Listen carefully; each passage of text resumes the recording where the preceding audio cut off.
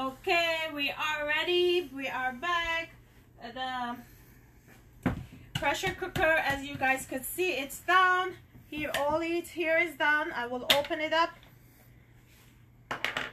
and check. Wow. See, check it out. Yeah. And then see the, the garlic that I have it in there.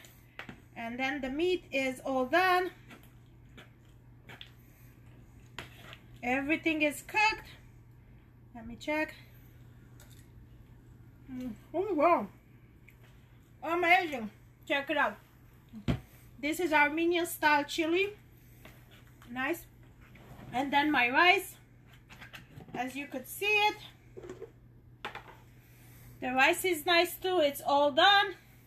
And then what I done here, as you guys can see, I have my chili, I have my rice all mixed. This is a cup and a uh, cup and a half.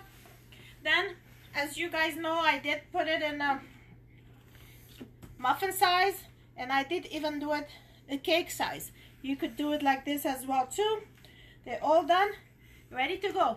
And then what I will do is that I will put it in Tupperware container. And it's ready, put it in the fridge, and then ready to eat. So, this is our chili, homemade chili. Uh, every every ingredient is fresh. The um, what you call it, basmati brown rice is ready. Uh, black forest cupcakes and cake is ready and ready to eat. Have yourself a great day. Stay safe. Stay home. Please be careful.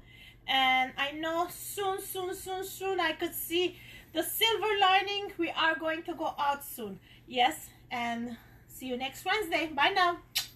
See ya. My webpage is ruthdd.ca.